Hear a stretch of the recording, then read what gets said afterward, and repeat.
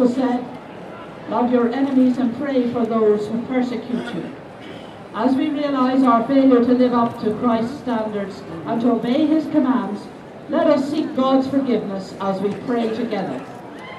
Almighty and merciful God, we thank you for our love which we have received from you, and we confess our lack of love for you and for our fellow men. For the sake of your Son who died for us, save us from our sins.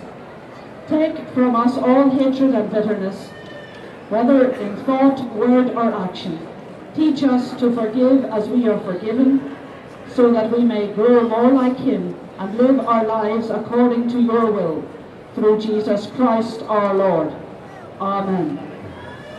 Almighty God, who has promised to forgive all who repent their sins and believe in his Son Jesus Christ, grant us pardon and for our sins and peace in our hearts, strength in his service and everlasting life, through Jesus Christ our Lord.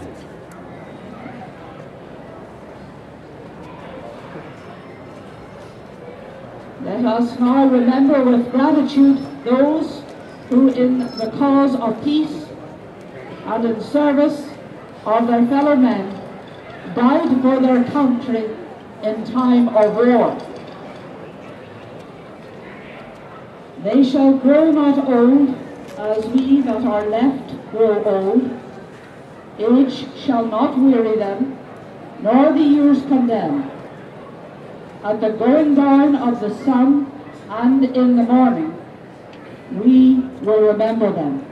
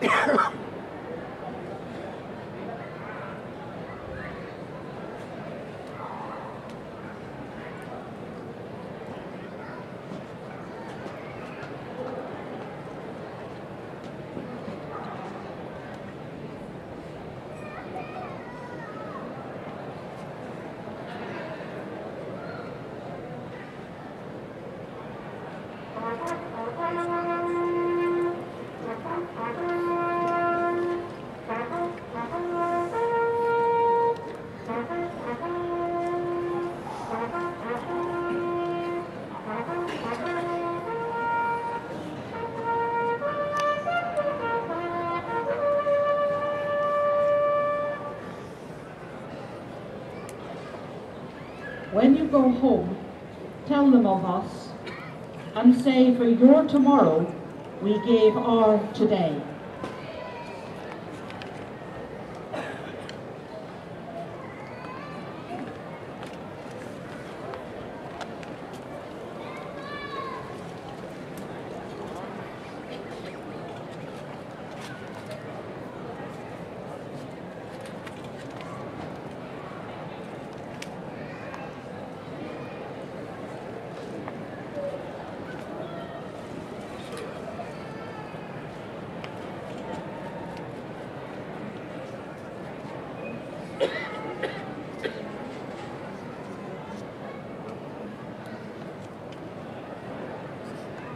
Let us pray. We give you thanks, O merciful God, for all who have died in past conflicts, that we might live. For all who have endured pain, that we might know joy. For all who have suffered, that we might know freedom. Turn our deep feelings into determination, and our determination into deed, that as men and women died for peace, we may live for peace, for the sake of the Prince of Peace, our Saviour Jesus Christ. Amen.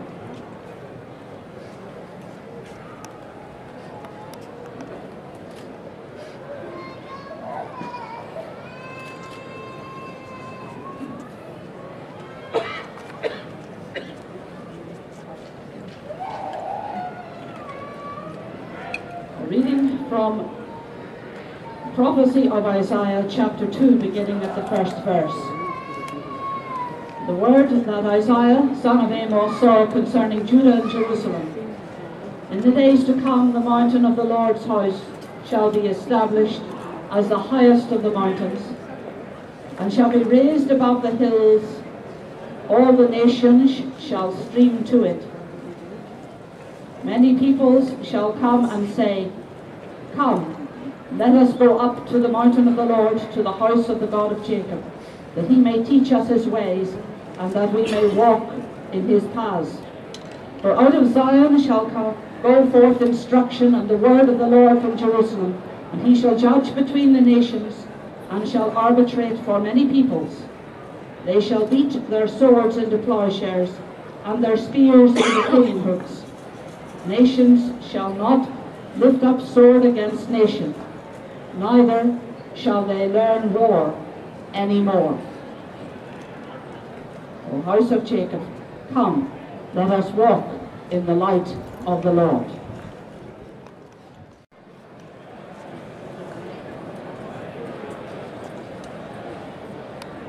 So we pray.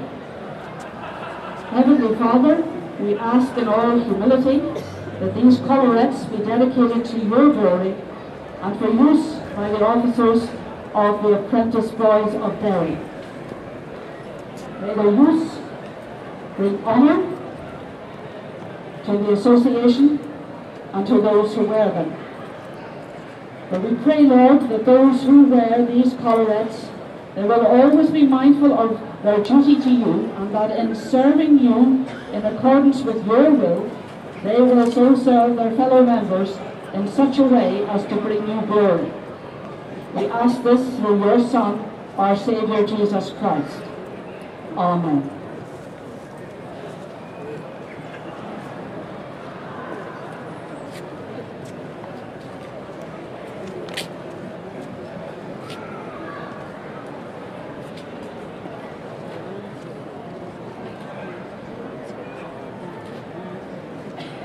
cara.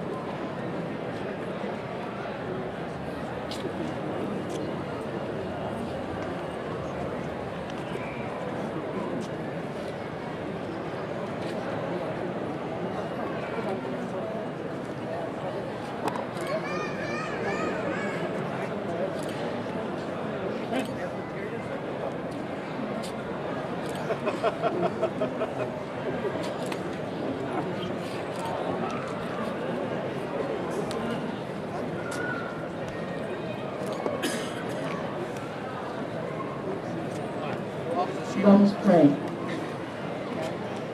Lord God, whose faithfulness knows no end, we pray for our Queen and for all those in authority under her who guide and govern the affairs of our nation. Grant that they may honour you and serve for the good of all your people. Help them in every situation to know and to do the, the thing that is right, to uphold justice and to promote peace. Through Jesus Christ our Lord. Amen. And we pray together for our communities. We pray for this community and for all the communities represented here today. We pray for peace and prosperity, for security and tolerance, so that our communities may offer a welcome and be a haven for friend and stranger alike. Help us, O Lord, to remember that you made each of us in your image. As we leave this place, we do not leave your presence, but grant, through the power of your Spirit, that we may live and work for your glory and for the sake of Jesus Christ our Lord. Amen. And we pray together the prayer that our Lord Jesus himself taught us. Our Father, our Father, who art in heaven, hallowed be thy name.